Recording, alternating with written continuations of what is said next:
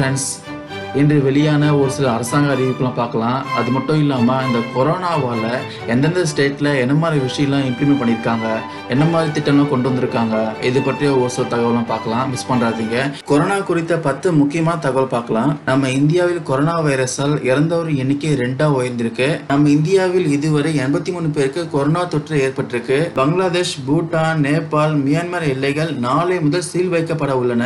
உச்சநீதிமன்றத்தில் திங்கட்கிழமை முதல் முக்கியமான வழக்கு மட்டுமே விசாரிக்கப்படும். டெல்லி உயர்நீதிமன்றம் அனைத்து மாவட்ட நீதிமன்றங்களுக்கும் தேவையில்லாம கூட்டத்தை சேர்க்க வேண்டாம் என்று உத்தரவிட்டிருக்காங்க. இந்த கொரோனா வைரஸ் தொற்று அச்சுறுத்தல் காரணமா ஆர்எஸ்எஸ் பிரதிநிதிகள் கூட்டம் ஒத்திவைக்கப்பட்டிருக்கு. அனைத்து சினிமா அரங்குகளையும் மூட பஞ்சாப் அரசு உத்தரவிட்டிருக்காங்க. உத்தரப்பிரதேசத்தின் அனைத்து பள்ளி கல்லூரிகளுக்கும் மார்ச் இருபத்தி ரெண்டாம் தேதி வரை மூடப்படுகின்றன. உத்தரகாண்ட் மாநிலத்தில் பன்னெண்டாம் வகுப்பு வரையிலான பள்ளிகள்லாம் மார்ச் முப்பத்தி ஒன்று வரை மூடப்படுகின்றன. ஜம்முவில் உள்ள ஷாப்பிங் மால்கள் மற்றும் கிளப்புகள்லாம் மார்ச் முப்பத்தி ஒன்று வரை திறக்க வேண்டாம் என்று உத்தரவிட்டிருக்காங்க. தமிழகத்தில் உள்ள அனைத்து பள்ளிகளையும் எல்கேஜி யூகேஜி வகுப்புகளுக்கு மார்ச் முப்பத்தி ஒன்று வரை விடுமுறை அறிவித்திருக்காங்க. இந்த ஆண்டு ஐபிஎல் போட்டிகள் தள்ளி வைக்குமாறு மத்திய அரசு அறிவுறுத்தியிருக்காங்க. கொரோனா வைரஸை தொற்று நோய் என அறிவித்து தமிழக அரசு பாத்தீங்கன்னா தற்போது அரசாணை வெளியிட்டிருக்காங்க.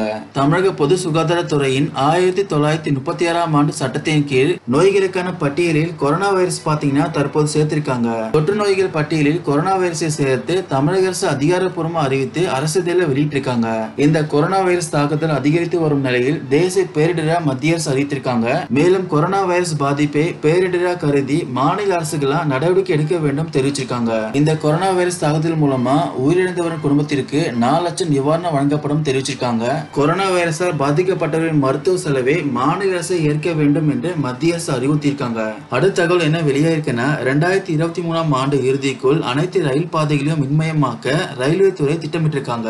நம்ம இந்திய ரயில்வேல அறுபத்தி ஏழாயிரத்தி முந்நூற்றி அறுபத்தி எட்டு கிலோமீட்டர் தொலைவுக்கு ரயில் பாதை உள்ளது.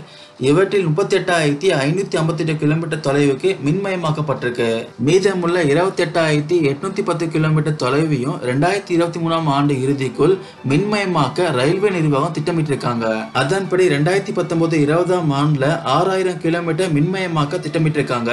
ரெண்டாயிரத்தி இருபது இருபத்தி ஒன்னாம் ஆண்டுல ஆறாயிரம் கிலோமீட்டரும் ரெண்டாயிரத்தி இருபத்தி ஒன்னு இருபத்தி ரெண்டாம் ஆண்டில் மீண்டும் ஆறாயிரம் கிலோமீட்டரும் ரயில் பாதைகளை மின்மயமாக்க திட்டமிட்டிருக்காங்க.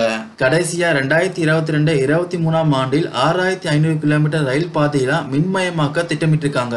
மீதமுள்ள நாலாயிரத்தி முன்னூத்தி பத்து கிலோமீட்டர் தொலைவை ரெண்டாயிரத்தி இருபத்தி மூணாம் ஆண்டு டிசம்பர் மாசத்துக்குள்ள மின்மயமாக்க திட்டமிட்டிருக்காங்க.